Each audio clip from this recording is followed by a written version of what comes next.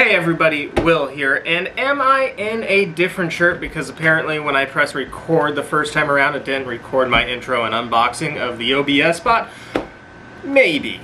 But, hey, thanks for joining me on this video because today we are talking about the OBSBOT Tiny. This is a tiny AI tracking webcam and it is absolutely fantastic. I hope you enjoy my initial review of it and kind of demo of all of the cool things it can do.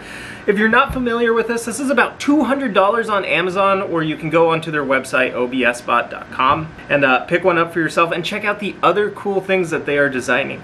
Now, if you're not familiar, OBSBot is a gimbal webcam with AI tracking software, so it can track a user as they walk across. Now I would probably recommend that this camera is best suited for educators or vloggers uh, who are doing a lot more movement or anybody doing maybe a DIY channel.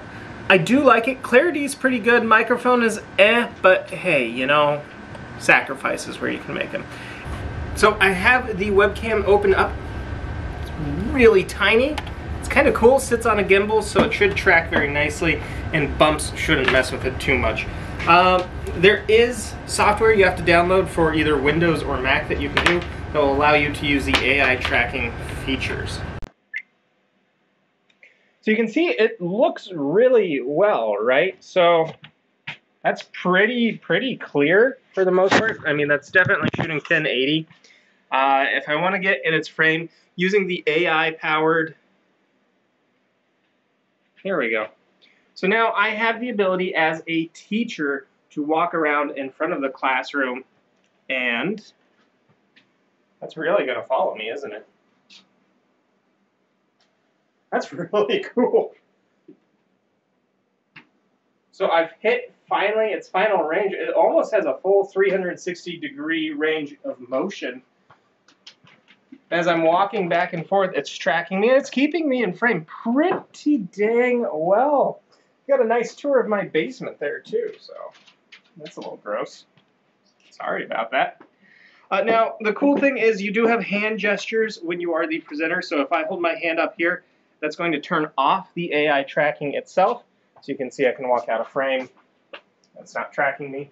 Or if I need to turn it on, and on the unit itself, there's actually a light that will turn blue. There we go. It's almost like a loading bar light that shows up for it. That's really cool. Okay, and then the other thing you can do, so if I'm if you're really far away, for instance, like this, you hold up an L. It's actually going to zoom in on you here. You can zoom out, zoom in. There we go. And then it should track you with the zoom in place.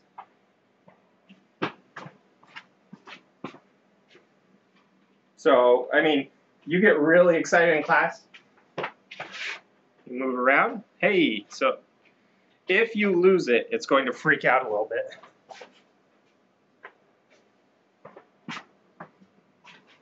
Finds you.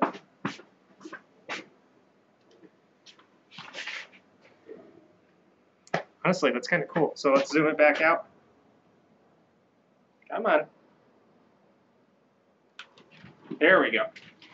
That is really nifty unit. So for $200, I actually think this is, sorry, I got crazy hair there. I think this is a great uh, webcam to be putting into classrooms, or even if you're a vlogger that you need to move around, you don't have a camera crew, this looks well. These webcams are zoom capable.